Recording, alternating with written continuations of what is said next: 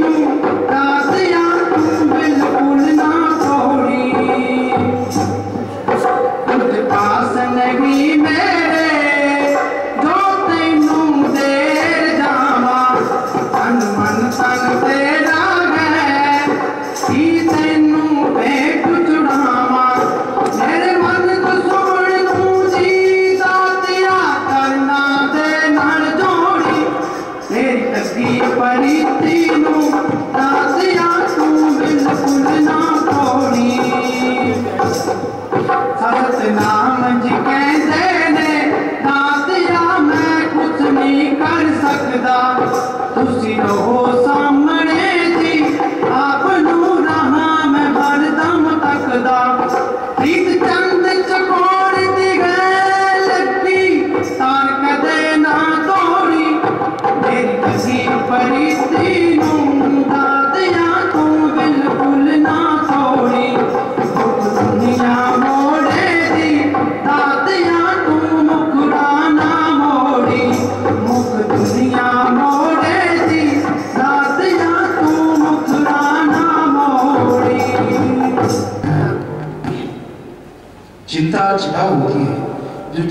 इंसान को जलाती रहती है।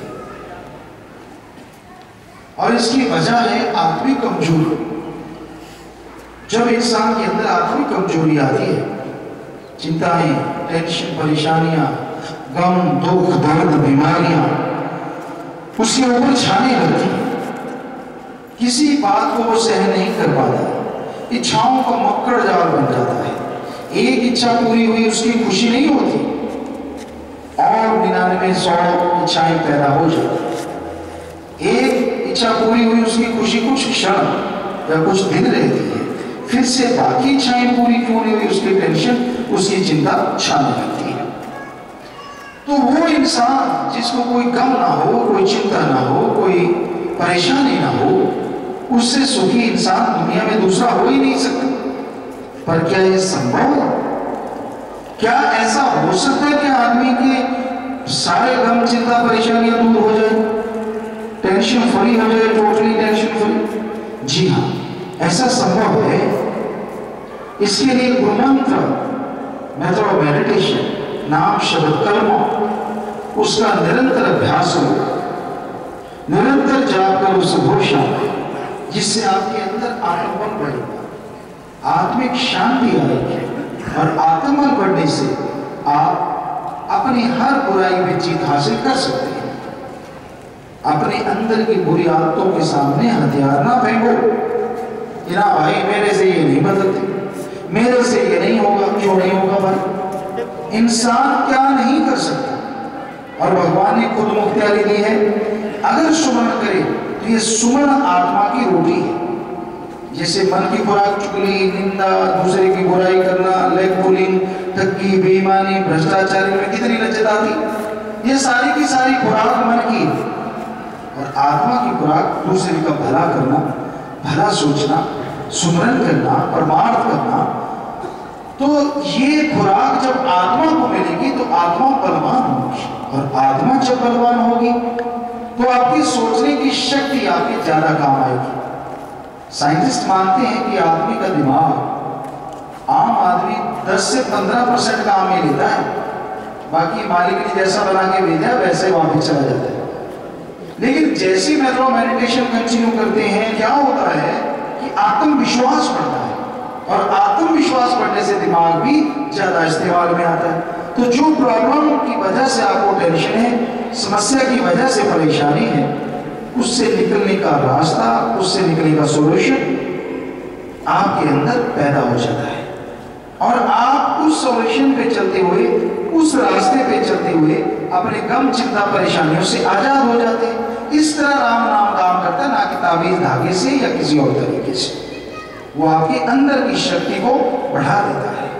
वो टेम्परेरी काम नहीं करता परमानेंटली काम करता है। एक बार आप सुन समाधि में जाते हैं, दसवें द्वार में जाते हैं, आत्मा ऊपर चढ़ती है और मालिक के वो नज़ारे नज़र आते हैं। अंदर खुशियाँ आने लगती हैं आत्मिक शक्ति पैदा हो जाती है और इंसान हर तरह की गम, चिंता, परेशानी की परवाह नहीं करता। कोई उसे गाड़ियाँ भी दे दे तो भी असर नहीं होता। क्योंकि गाड़ी क्या चीज़ है? बताइए। एक आदमी ने आप जरा दिमाग लगा के सोचिए। एक आदमी ने दूसरे की माँ बहन को बोला, बोल दिया। बोला, आपने सुना, सिर्फ़ सुना, बोला तो नहीं। तो अगर आप में सहन शक्ति है, आप चुप रहते हैं। तो जिसने बोला वो गाड़ी उसी की माँ बहन को जाके लग जाती है, क्योंकि उसी का मुँह गंदा हुआ है आप तो साफ़ सुथरे। पर आपसे बर्दाश्त नहीं ना होता। कोई बोले अच्छा उंगली उठाएगा तो मैं पंच मारूँगा, पंच मारेगा तो मैं बट्टा मारूँगा, बट्टा मारे तो पत्थर से सिर फोड़ दूँगा। तो बर्दाश्त शक्ति की कमी है। और यही आत्मिक कमज़ोरी है। जरा सी बात सहन नहीं होती। जरा जरा सी बातों के लिए हमने लड़ते देखा रोटी के लिए लड़ना कपड़े के लिए लड़ना, नहाने के लिए लड़ना, क्या चीज़ इस जमाने में, संसार में? लोग लड़ते हैं, जरा जरा सी बात कहीं तो बिना वजह लड़ पड़ते हैं, हवा तेरी तरफ़ से क्यों आई? बताओ। अब वो उधर बैठा है, उधर से हवा इनको आगे कहते ना, तेरे में से हो गया, ये आई तो आई क्यों? धूप में बैठा है तेरी परछाई मेरे पे क्यों आई? तो हिल के थोड़ा दूर हो जा। ना ना, हिलना नहीं, तेरी परछाई आई तो आई कैसे? तो सहन शक्ति शून्य होती जा रही है। और जैसे जैसे आत्मिक शक्ति कमज़ोर होती है सहन शक्ति कमज़ोर होती है, लोगों का आपस में झगड़ा होता है। खुद ही बुलंद होती है। अहंकार जागता है और अहंकार को मार पड़ती ही पड़ती है। तो अपने अंदर की खुदी को, अपने अंदर के अहंकार को मिटा डालो। अगर चैन आनंद परमानंद से नज़ारे लूटना चाहते हो ज़िंदगी के तो अपने अंदर की खुदी, होमे अहंकार त्याग दो। चाखा चाहे प्रेम रस राखा चाहे मान, एक म्यान में दो खड़ग देखा सुना लगा जैसे एक म्यान में दो तलवार नहीं आती, वैसे एक शरीर में झूठा अहंकार मान बढ़ाई, और प्रभु का प्यार इकट्ठे नहीं रहते। यहाँ अहंकार है, मान बढ़ाई का चक्कर है, वहाँ प्रभु का प्यार हो ही नहीं सकता। और यहाँ प्रभु का प्यार है, वहाँ अहंकार का तो नामो निशान नहीं रहता। तो भाई, सच्चाई है ये हकीकत है? आपको शॉर्ट में एक बात सुनाते पहले की बार सुनाई लंबी। थोड़ी सी बात उसको शॉर्ट करके कबीर जी के पास एक बादशाह आया था। तो वो बादशाह शायद बाहर से था अरब कंट्री से, उधर से था। तो वो आया और कहने लगा जी मैंने नाम लेना है। तो कबीर जी कहने लगे भाई पहले परीक्षा देनी पड़ेगी आप बादशाह हैं। इब्राहिम अदम शायद ऐसा उसका नाम था। तो वो कहने लगे कि भाई, यहाँ तो काम करना पड़ता है, मैं तो जुलाहा हूँ सारा दिन। खेस दरिया आप जानते जुलाहा घर में काम इतना रहता है। तोड़ा तल लिया, रंग दिया, रंग घोड़ लिया, उसको बना दिया, उसको बनाने लगे, इकट्ठा करने लगे तो सारा दिन निकल जाता कबीर जी कहते भाई काम करना पड़ेगा। कहता, जी, बिल्कुल करूँगा मैं सारी ज़िंदगी। कब से घूम रहा हूँ पूरा गुरु मिले और मुझे बताया गया कि आप पूर्ण गुरु कबीर जी कहते, ठीक है। छह साल हो गए ऐसे सेवा करते करते, नाम नहीं लिया। कबीर जी के घर से माता लोई थी, उन्हें लोई कहा जाता था। तो कबीर जी के साथ उनकी चर्चा चलती रहती थी राम नाम में, वो भी भगत थी। कहती, जी, इस बादशाह को छह साल हो गए सेवा करते। और आप अभी तक इसको नाम नहीं देते, क्या चक्कर है? कहते, नहीं नहीं, अभी बादशाह के अंदर अहंकार है। लोही कहती, जी, होगा, मुझे तो लगता नहीं। कहते, पक्का नहीं लगता? तेरे को बता दे चल। ऐसे कर पशुओं का गोबर उठा ले, उसको घोड़ ले, छत पे खड़ी हो जा और इसके सिर पे डाल देना, जब रास्ते से निकले, खुद पीछे होके सुनना क्या कहता है। कहती, जी, सचमुच मानते बहुत ही तो कबीर सिंह ने जैसा कहा लोही ने वैसे किया, गोबर वगैरह घोल लिया, सारा कुछ छत पे खड़ी हो गई। बादशाह वहाँ से गुजरा तो लोही ने वो गोबर का घोड़ उसके सिर पे डाल दिया। बादशाह उसको झाड़ता हुआ बोला, कहता, ये तो आई में यहाँ गया। बल्क बुखारे होता करता, सो करता। तो बल्क बुखारे का बादशाह था। चला गया। लोही ऑफ़िस से कबीर जी कहते मुस्कुराए। संत जानी जान भी होते काफ़ी हद तक, अगर कोई माने तो। तो कहने लगे हाँ भाई लोही कैसा हुआ? कहती, जी, मैंने गोबर डाला कहते फिर उसके अंदर तो बल्क बुखार अड़ा हुआ था उसके अंदर अभी अहंकार है, बल्क बुखार अड़ा हुआ है। लोही कहती हाँ जी, है तो यही बात। छह साल और गुजर गए। कबीर जी का निर्णय भाई, अब ये काबिल बन गया पूरा। लोही हंस पड़ी कहती जी, मुझे तो वैसे ही लग वैसे सेवा करता है, वैसे घूमता है। मुझे तो नहीं पता। कहते चल ठीक है पिछली बार तूने गोबर डाला। बार सारी गंदगी, पशुओं की, जो भी गंदी से गंदा गोड़ बना सकती है, बना ले। चाहे आदमी, बच्चे का टट्टे, पेशाब बीच में कर रहा दे सारा गोड़ ले और वही छत पे चढ़ जा, इसके सिर पे डाल लेकिन ठीक है जी लोही ने वैसे ही किया। छत पे खड़ी हो गई। जैसे बादशाह को सेवा करता करता वहाँ से गुजरा, सिर पे डाल दिया, पीछे हो गई। तो बादशाह वहीं घुटनों के बल बैठ गया, ऊपर हाथ रहे। ए, मेरे ऊपर ये गंदगी डालने वाले मालिक तेरा भला करे। मेरा मन कमीना इसी के काबिल था। अहंकारी धक्का ना रहता था। शुक्र है तेरा, इसको इसके औकात दिखा दे। लोही की आँखों में भी आँसू आ गए। कबीर जी के चरणों में जा नतमस्तक हुई कहती, जी, कबीर जी कह रहे, क्यों? अब है बल को बुखारा? यदि ना जी, वो तो बहुत ही बेचारा वो तो बहुत ही अब भक्त बन गया है। तो कबीर जी नाम देते गए और आत्मा डर करने लगी पलों में। सो हमारा कहने का मतलब अहंकार ना करो, खुद ही ना करो। खुद ही अहंकार से प्रभु नहीं मिलता। प्रभु दीनता से, नम्रता से, मीठा बोलो अच्छा सोचो, भला मांगो, भला करो, मालिक का सुमरण करो, सेवा करो। हो ही नहीं सकता मालिक आपकी आवाज़ ना सुने। एक बच्चा रोता है तो माँ दौड़ी चली आती है। मेरा बच्चा रो रहा है। जरा सोचिए, बच्चे क्या रोना सुन के अगर माँ दौड़ी चली आती है, जिस माँ को भगवान अल्लाह वाहिगुरु ने बनाया है, कोई उस राम, ओम हरि अल्लाह वाहिगुरु के लिए तड़फेगा तो राम क्या दौड़ा चला नहीं आएगा? कोई तड़फे तो सही, कोई उसके लिए भावना तो पैदा करे। तो मालिक ज़रूर सुनता है। देर हो सकती है आपके कर्मों की वजह से। जैसे कर्मों का सुफरा साफ़ होता है गलत होता है, साफ़ हो जाते मालिक विद्या में रहमत से नवाज़ देते और अंदर बाहर से माला मान कर देते हैं। मालिक इनाम की मस्ती, उसकी लज्जत उसकी लहर, उससे हमेशा चढ़ी रहती है, जो अपने मन जालिम का सामना करता है। मालिक का नशा, उसके प्यार, मोहब्बत का नशा कभी उतरा नहीं करता। मालिक इनाम के नशे को पाने के लिए अपने आप को साधना पड़ता है। जो अपने आप को साध, वो साधक कहलाता है। और साधक ही मालिक के प्यार को, दर्श दीदार को मृत लोग में पा सकता है।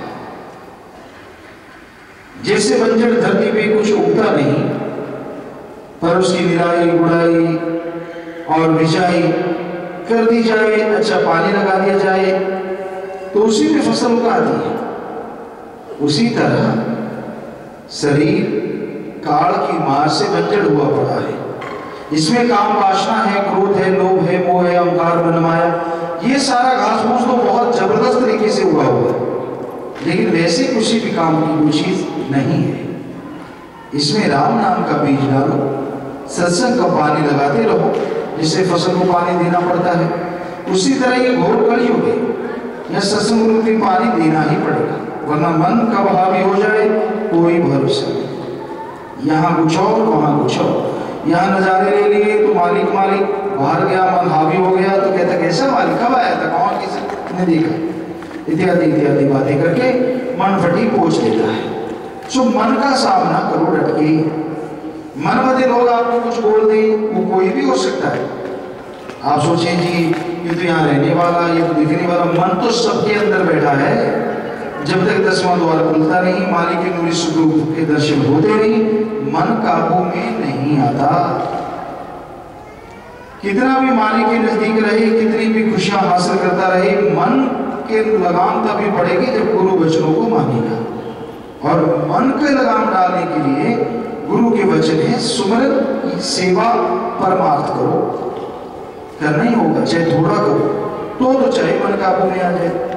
तुम नहीं तो मन जंगली घोड़े की तरह दौड़ता रहता है, काबू नहीं आता। तो दुनियावी शराब के कितने भी मटके हो, मालिक के प्यार, मोहब्बत की शराब के घूट का मुकाबला नहीं कर सकते। ये संतों का बताना है। और मालिक तक जल्दी जाने का रास्ता, मालिक का प्यार।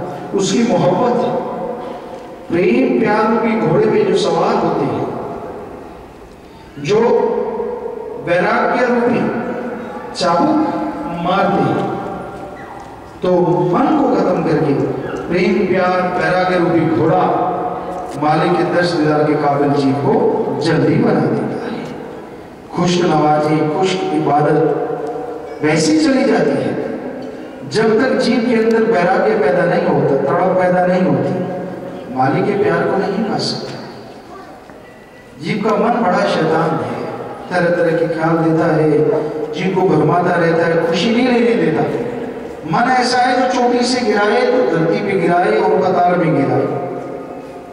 मालिक प्यार मोहब्बत के द्वारा, संत पीर फकीर प्यार मोहब्बत, नाम के द्वारा जीव को धीरे धीरे धीरे धीरे चोटी की तरफ़ लेके जाते हैं। अभी शिखर पे पहुँचा नहीं कि मन का दाम चला तो वहाँ से धड़ाम चारों खाने चित हो सकता है। तो आप सोचेंगे क्या वाहिगुरु राम की ताकत कम है जो मन पल में गिरा देता है? कम नहीं है। सारा टाइम ही आप मन की खुराक खाते रहते हैं और अपनी आत्मा की खुराक तो या तो सत्संग में, या कभी कभार कोई शब्दवाणी सुनते हैं, या सत्संग सुनते हैं, सीढ़ी वगैरह लगा ली, या कभी कभार कोई मालिक की महिमा की चमत्कार या कोई ऐसी चर्चा सुनी या करी तो वो तो खुराक ज़रूर आत्मा की होती है अदरवाइज़ तो आप देखो, सारा टाइम ही मन की खुराक आते रहते हो। जो ज़्यादा खाएगा असर तो उसका ही ज़्यादा रहता है ना। तो इसलिए मन हावी रहता है जीव पे उसे काबू नहीं आने देता। मन किसी साधन से बस में ना आए। वशिष्ठ ऋषि जी गए, फरमाए, ज्ञान, योग, बुद्धि, जप, तप, इनसे किसी से काबू नहीं आता मन। मन काबू आता है, नाम धुन सुने मन झूम झूम हरी रस अमृत आबो हया बाकी इलाही तुर्की वाणी जो अंदर चल रही है, एक बार सुन करके, हिम्मत करके, वो आवाज़ मन को सुना दी जाए तो मन काबू में आ जाता है, फिर इधर उधर नहीं दौड़ता, और मालिक की कृपा दृष्टि से जीव की आत्मा, जीव का वर्तमान भविष्य महक उठता है, और भूतकाल में किए गए पाप कर्मों से जीव बच जाता है।